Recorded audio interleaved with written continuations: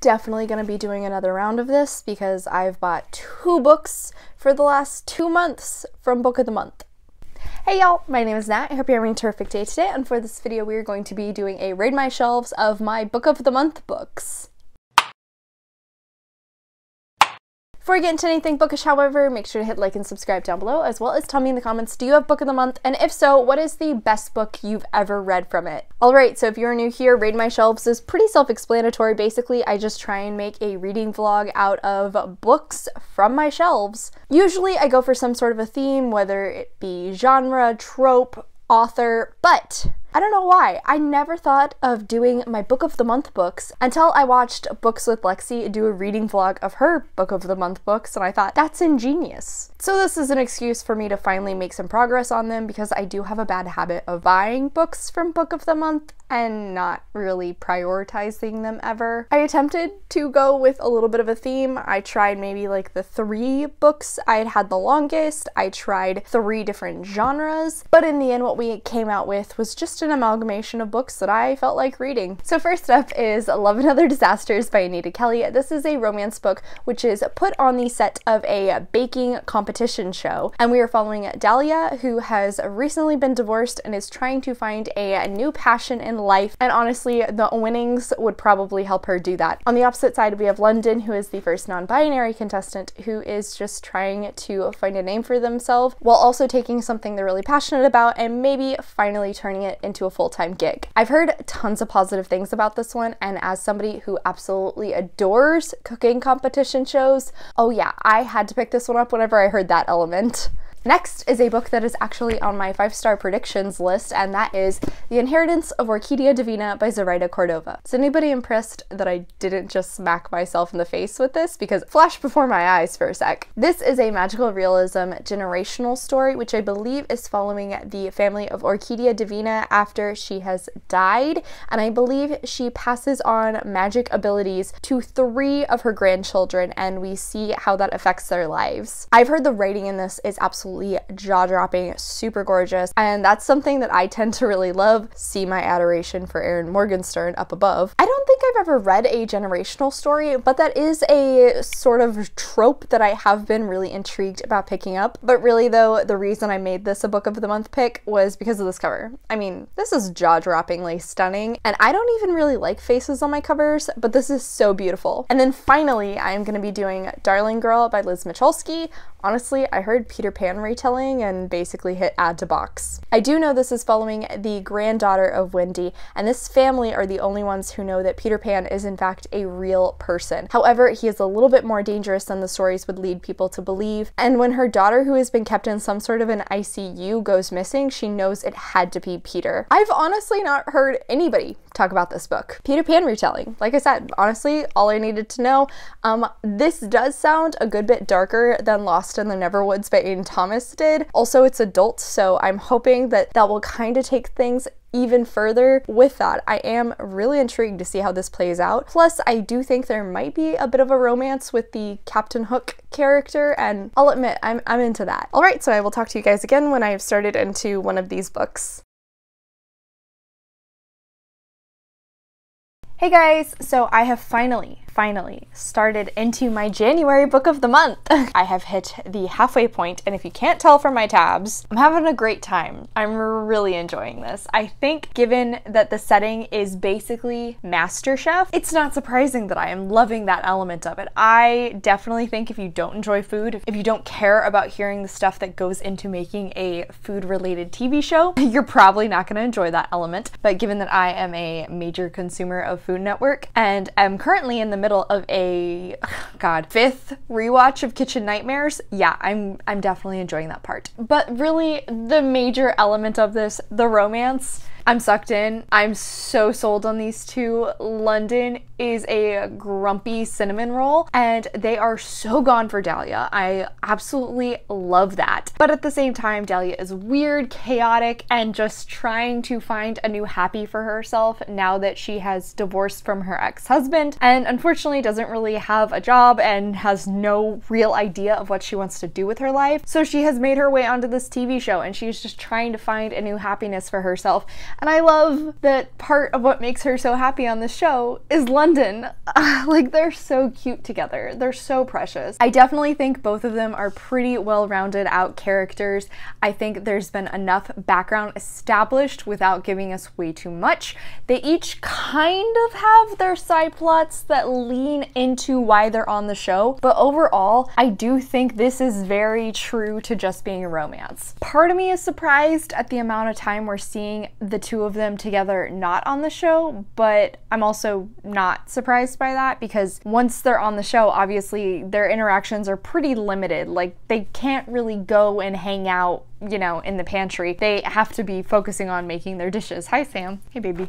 But even when they are on the show, they are each other's cheerleaders, they are each other's therapists. They just are there for each other through the ups and the downs. And even though this book is moving really quickly, I keep having to remind myself that we've worked through a fair amount of time. Like it's at least been a month since they met each other. So it makes sense that they've developed through the friends phase quite quickly. And by this point, at the halfway, have hit the lovers phase. Not mad about that either. The spice, she good. It's good. There is a little bit of heavier topics popping up, obviously, with London being openly non binary on this TV show. Unfortunately, they are being subjected to some transphobia, some trolls. Their father is not particularly accepting of their identity. Thankfully, there isn't too much of that, so it doesn't bring the entire tone of the book down. On the opposite side with Dahlia, while she is trying to find a new happiness for herself, unfortunately, her divorce has definitely left some damage. And apart from that, she is still having to work through her student loans. So if she were to win the show, she could take that money and finally kind of make a clean slate for herself. But again, even with both of those more serious topics, I don't think they're taking away from the main plot, which is the romance, and I don't think they're bringing the entire mood down. This is still very lighthearted. I'm working through it pretty quickly. I'm really enjoying it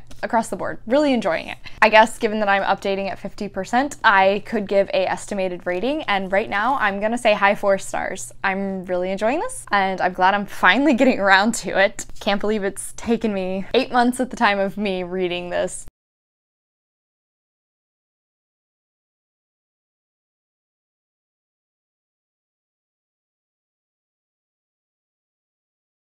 Hey guys, so I officially finished out Love and Other Disasters by Anita Kelly, and right out of the gate, I just need to say this was so cute. It was so pure, it was so wholesome, I really enjoyed it. I think each of these main characters' personalities really just sprung off the page the entire book. I thought the relationship that develops between them, it weirdly feels like a mix between a whirlwind vacation fling and then like the start of a very serious relationship. It's so cute. It balances that so well where it has the fun side, but then it also has the emotional depth. Yes, I need more romance books to have that. While I did have a lot of fun with the cooking show setting, I do think as the story progressed, it um, started to be underutilized. The stakes never really felt like they were very high, even when one of our main characters would be in danger of getting voted off the show. Oftentimes it was over within an instant. It was very anticlimactic if they were saved or if they weren't. I don't want to specifically tell you because of spoilers. So that element unfortunately did start to become a bit of a letdown, seeing as how I loved it in the first half. The focus here was really on the relationship between these two, unsurprisingly. We did have a third act conflict, and while it was kind of annoying, I will admit it did make perfect sense. It was realistic to these characters and their situation, and it led to a very sweet, very cute, pure, adorable grand gesture moment. In regards to London's side plot, their father wasn't accepting of their gender identity, and thankfully, at no point did that side plot ever become this angsty, drama filled situation. It definitely was a bit heart aching at times, but I don't think it ever took away from the overall romance plot or bring down the positive tone. I think Anita Kelly handled it in a really respectful way. Even when a contestant actually misgenders London, they don't actually showcase that on the page. And I think that was a really powerful way for that moment to still occur without disrespecting London's gender identity. On the opposite side with Dahlia, I really loved she finally has this discussion with her mom that was so sweet and wholesome and really had Dahlia reevaluating her perspective on not only her divorce, but her relationship with her mom and herself and her outlook on life, which also kind of blent in with the grand gesture moment and I just, I loved that on the whole. It was so great. I was just swooning for these two across the board. I had a great time with this. Like I said, in terms of the cooking element, unfortunately, that did kind of detract from my enjoyment. So I went with four stars, but still highly recommend this book. I had a ton of tabs and I'm definitely keeping this baby on my shelves. I can't believe it took me so long to get to it, but I'm probably gonna say that a lot in this video.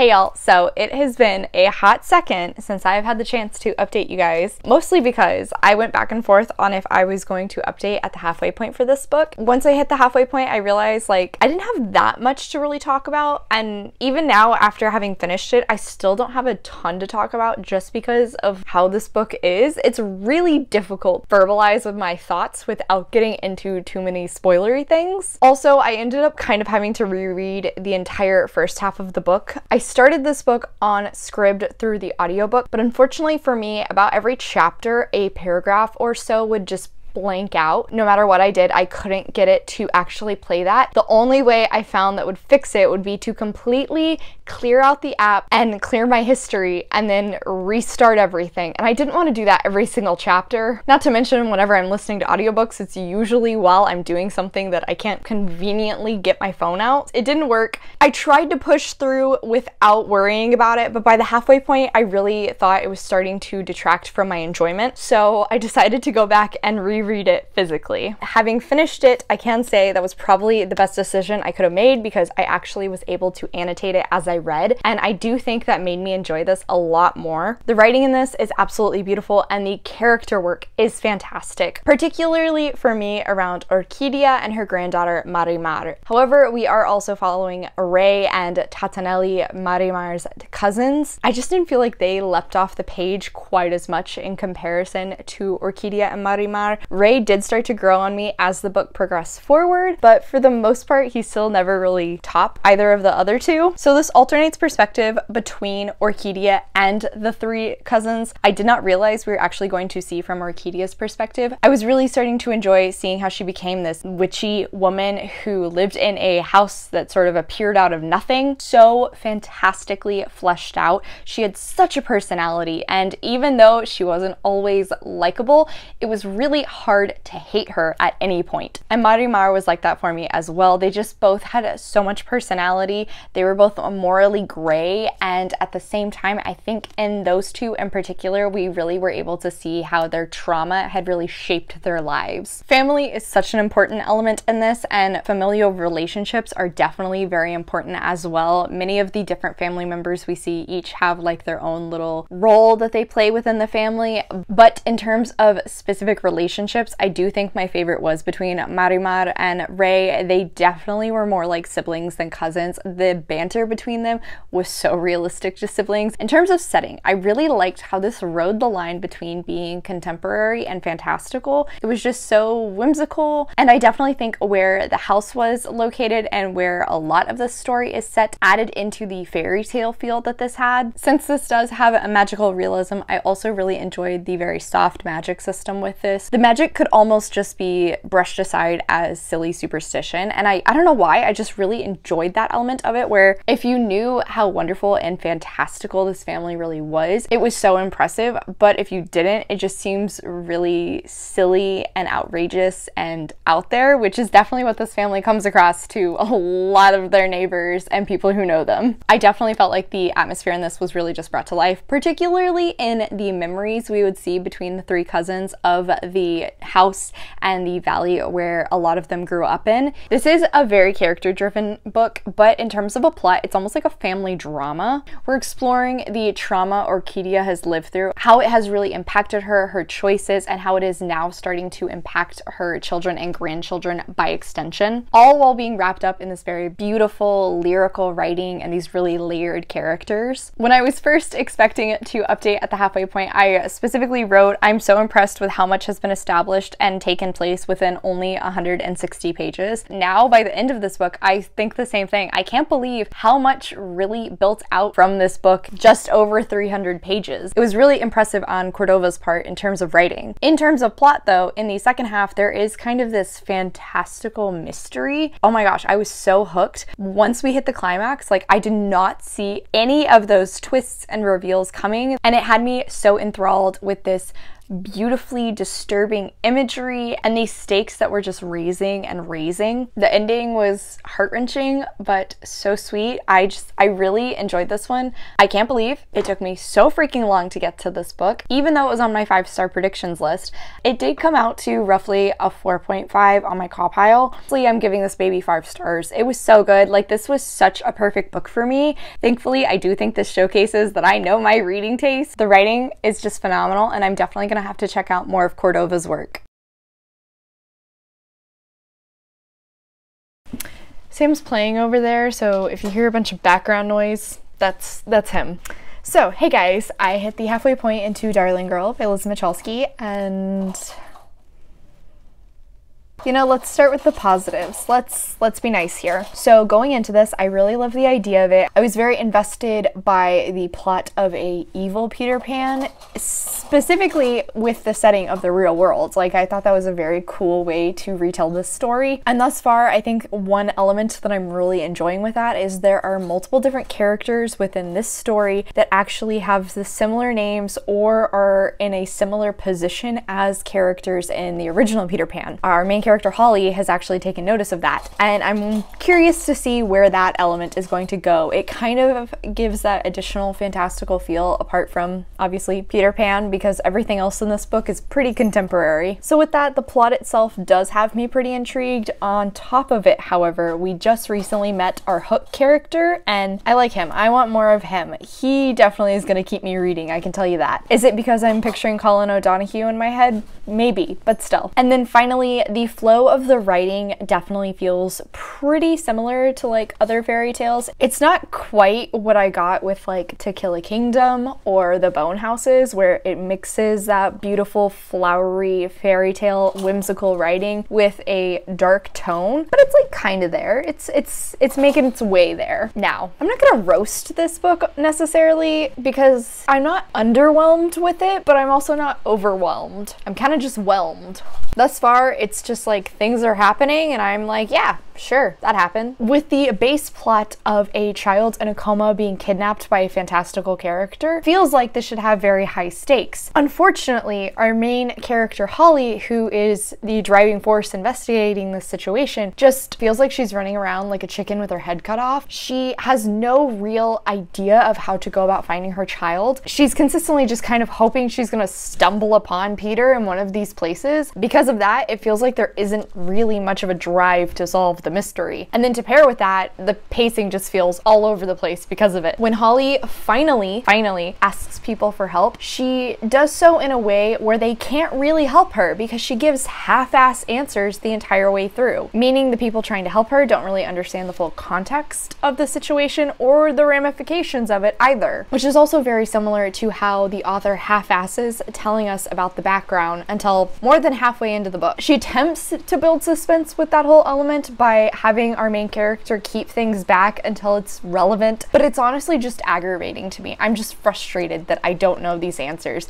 particularly since I'm only seeing through the eyes of Holly. It feels weird that she would be like keeping secrets from herself. As far as characters go, I will say Holly, our main character, is the most fleshed out. We do get to see through her perspective and kind of really understand her as a person. She is a successful scientist, she's a very devoted mother, and uh, honestly is probably a great paycheck for some therapist out there. In comparison, all other big name characters, namely her mom and her son, are a dragon lady and a angsty hormonal teenager respectively. As I said at the beginning, we just recently met our Hook character and I do like him. I'm intrigued by his character. We don't really see a lot of exploration of it, but he definitely has some trauma, which I think is kind of allowing Holly to connect with him. And I would love for that to be explored. I do think this does start to look at them in a romantic light, which I would be into. Finally, the one thing that I really just want to bring attention to is content warning for on on-page rape scene. Very startling. Did not expect that. But at the same time, it also feels like the author kind of glossed over it and the events were never really explained further or explored in any kind of way. There's just, there's been no discussion around that event. And I don't like that. That's really weird. It feels like it just happened and now it's getting swept under the rug. And it's like, what was the point of it then if you were going to include it and then just not acknowledge it ever again? Like I said, um, I'm not overwhelmed. I'm not underwhelmed. I'm whelmed. This feels like it's gonna be just a solid three star unless it continues to get worse in regards to the whole mystery in that case i could see this dropping down to a two star i really hope that doesn't happen i am gonna keep reading just because i'm kind of curious about where it's gonna go but i'm upset that i don't like this as much as i thought i was going to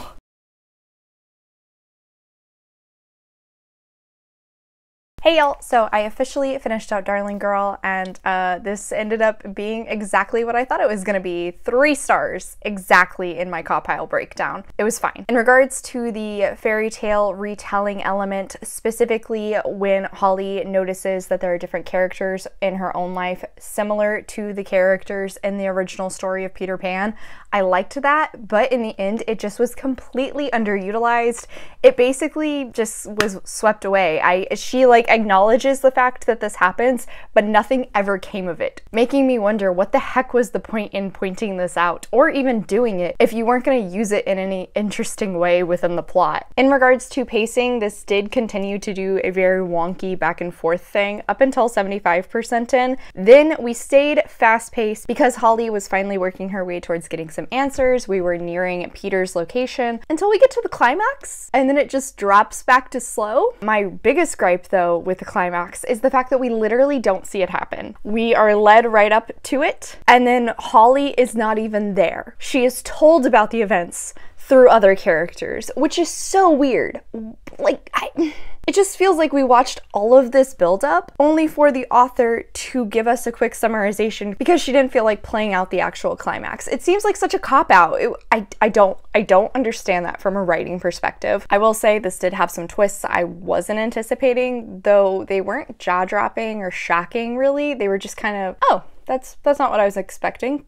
Cool. That was it. My gripe in the beginning with Holly consistently lying to the people who are trying to help her figure out what happened to her daughter and find Peter continued all the way through this. And honestly, towards the end, I was just getting incredibly frustrated with it. And it was making it very hard to sympathize with Holly because she was standing in her own way to actually trying to find her daughter or find Peter. Not to mention, she does actually get called out on all of these lies that she has been telling to everyone in her life. And anytime that would happen, she either would become very angry that she was being called out or she would play the victim. And it was so aggravating because it just made it so that I genuinely despised Holly by the end of the book. I could not stand her. I don't think she redeemed herself at all by the end of this. There is a little bit of a romance between Holly and Christopher, who's the Hook character. Wasn't really surprised with that. Uh, it just was super underdone. Did not see how it developed other than the author wanting to capitalize on the romanticizing of Captain Hook, but that was about it. I wasn't convinced by their feelings for one another at all. On the opposite side, once we finally met Peter, he honestly felt cartoonishly evil. I, I think what the author had built with that character previously was well done, but once we finally saw him, it kind of just took everything she built and then just turned it up too many notches. It was just odd, and I feel like it really was a disappointment given how his character had been used as a underlying presence throughout the rest of the book. So that was very disappointing. In regards to the on-page rape scene, um, it finally is actually acknowledged as rape later on in the book, but even then it's still not discussed. It feels like it was done for shock value and then it got swept away with really no exploration of the repercussions that had. So yeah, I'm gonna be unhauling this one. Definitely bummed about it. I wanted a Peter Pan retelling, which I would love. Also, the cover is just really cool. I like the intricacies of this and then also this Big Ben on the back back. I'm bummed. At least I finally caught up on my Book of the Month books. G says, well, still having six books from Book of the Month unread. All right, y'all, so that is it for today. Thank you so much for coming to my channel. I really appreciate it. Make sure to hit like and subscribe down below. I have all my socials linked in the description if you're interested in keeping up with what I am reading. I come out with videos on Monday and Friday, but until then, I hope you continue to have a terrific day. Love you, bye!